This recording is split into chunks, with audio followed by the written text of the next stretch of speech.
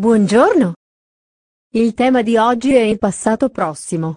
Il passato prossimo si usa per esprimere alcune azioni o fatti del passato più o meno vicino. Federica, ho una domanda. Come si forma il passato prossimo? Giulia, questo devi saperlo.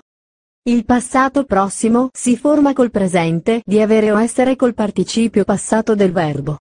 Io sempre ne ho dubbi sull'uso degli ausiliari essere ed avere. Ora spiegherò quando si usa avere e quando essere. Avere è l'ausiliare caratteristico per i tempi composti di tutti i verbi transitivi attivi. Cioè i verbi che hanno un oggetto diretto. E di alcuni verbi intransitivi. Questi sono i tempi verbali dell'ausiliare avere indicativo. Dimmi un esempio spiegalo. Il bambino ha finito il gelato. Che cosa ha finito? Il gelato. Abbiamo incontrato Anna. Chi abbiamo incontrato? Anna. Bene. Invece, l'ausiliare essere è caratteristico per i tempi composti dei verbi riflessivi e pronominali dei verbi impersonali e di quasi tutti i verbi intransitivi. Questi sono i tempi verbali dell'ausiliare essere indicativo. Dimmi qualche frase usando un verbo intransitivo. Per esempio, questa borsa è costata molto. Le vacanze sono cominciate ieri. L'ascensore è salito al primo piano. Bravo, molto bene. Inoltre, tra i verbi intransitivi distinguiamo due verbi diversi, i verbi pronominali, che posso essere, i riflessivi reciproci, esprimono un'azione che due o più soggetti compiono o subiscono nello stesso tempo. Per esempio, accusarsi e salutarsi. E, i riflessivi indiretti, dove l'azione verbale non si riflette direttamente sul soggetto, ma si svolge a suo beneficio. Per esempio, lavarsi e vestirsi. Sì, avete capito. Ora passiamo ai verbi riflessivi. Sapete alcun esempio? Io dico, mi sono alzata alle 6. Ci siamo conosciuti un mese fa. Bravo! Ora spiegherò i verbi che usano l'ausiliare essere. Sono verbi di cinque tipi.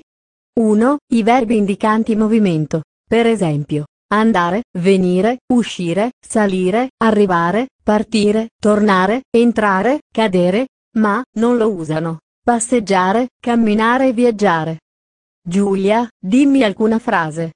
Per esempio, il treno è partito un'ora fa. Siamo andati al mare. Sta bene? Molto bene. Continuo con il punto 2. I verbi indicanti stato in luogo.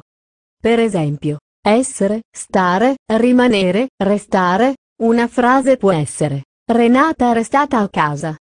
Marcello, dimmi una. Oliviero è rimasto in albergo. Bene. Nel punto 3 abbiamo i verbi che indicano un cambiamento nel soggetto. Per esempio, crescere, diventare, ingrassare, dimagrire, nascere, morire, invecchiare, iniziare, cominciare, finire. Una frase per esempio può essere, mio nonno è morto molto tempo fa. Anche, la festa è finita a mezzanotte. Continuiamo col punto 4, i verbi impersonali. Ci sono di due tipi. I verbi impersonali tipici sono quelli che indicano accadimenti atmosferici. Che verbi sono Giulia? Sono per esempio, annotare, balenare, diluviare, lampeggiare, nevicare, piovere e tuonare. Ma, questi verbi usano avere per indicare un'azione durativa, che indica continuità. Per esempio, ha piovuto tutta la notte. L'altro tipo di verbi impersonali sono i verbi che nella maggior parte dei casi si usano alla terza persona del singolare o plurale con pronomi indiretti. Verbi come piacere, sembrare, servire, accadere, succedere, capitare, bastare, mancare, interessare e durare. Dimmi una frase. L'Islanda mi è piaciuta moltissimo. Luca mi è sembrato un po' triste. Eccellente bambini. Finalmente, parleremo dei verbi alla forma passiva. Per esempio, il pedone è stato investito dal camion. Con questo abbiamo finito la lezione. Marcello, ancora hai dubbi? Non Federica, tutto è chiaro. Arrivederci bambini. Fino domani. Arrivederla, Federica. Arrivederla.